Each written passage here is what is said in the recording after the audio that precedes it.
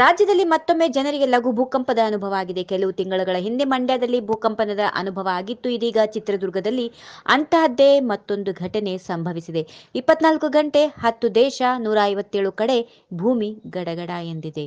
ಚಿತ್ರದುರ್ಗ ಜಿಲ್ಲೆಯ ಹೊಸದುರ್ಗ ತಾಲೂಕಿನ ಗುಡ್ಡದ ನೇರಲೇಕರಿ ಗ್ರಾಮದಲ್ಲಿ ಭೂಮಿಕಂಪನದ ಅನುಭವ ಆಗಿದೆ. ಭೂಮಿಕಂಪನದ ತೀವ್ರತೆ ಒಂದು ಪಾಯಿಂಟ್ ಆರು ಎಂದು ತಿಳಿದು ಬಂದಿದೆ. ನಿನ್ನೆ ಬೆಳಿಗ್ಗೆ ಹತ್ತು ಇಪ್ಪತ್ಮೂರರ ವೇಳೆಗೆ ಭೂಮಿ ಕಂಪಿಸಿದ್ದು, ಸಿಸ್ಮೋಗ್ರಾಫ್ ಮೀಟರ್ನಲ್ಲಿ ಭೂಮಿಕಂಪನದ ಬಗ್ಗೆ ಮಾಹಿತಿ ದಾಖಲಾಗಿದ್ದು, ಲಘು ಭೂಕಂಪವಾಗಿರುವುದನ್ನ ರಾಜ್ಯ ನೈಸರ್ಗಿಕ ವಿಕೋಪ ಕೇಂದ್ರದ ಅಧಿಕಾರಿಗಳು ಖಚಿತಪಡಿಸಿದ್ದಾರೆ. ಮಂಡ್ಯದಲ್ಲಿ ಕೂಡ ಭೂಮಿ ಗಡಗಡ ಅಂದಿದೆ. ಸಾರ್ವಜನಿಕರಲ್ಲಿ ಶುರುವಾಯಿತು ಡವಡವ ಅಂತ. ಹೌದು.